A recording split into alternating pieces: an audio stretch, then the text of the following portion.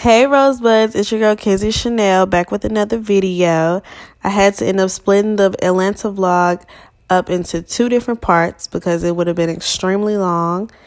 Right here, we were just at Paschal's for the Sunday brunch that they had from 11 to 4.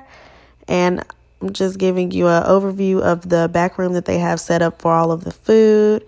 That's me. Hey. Paschal's is more of like a soul food type of restaurant in Atlanta. Right here, we were just at the stoplight, so I decided to vlog a little bit, showing you all the weather. We were under a tornado watch, so it was really gloomy that day, but we still wouldn't let that get in between what we had planned. Right there is the Mercedes Benz Stadium. It's huge. Right now, we were just at the strip mall because I had to take some things back to Victoria's Secret that I just bought out of impulse, which was a bad idea. But yes, so, so pretty. Right now, we were just on our way to the aquarium for the day. That was pretty much all we had planned.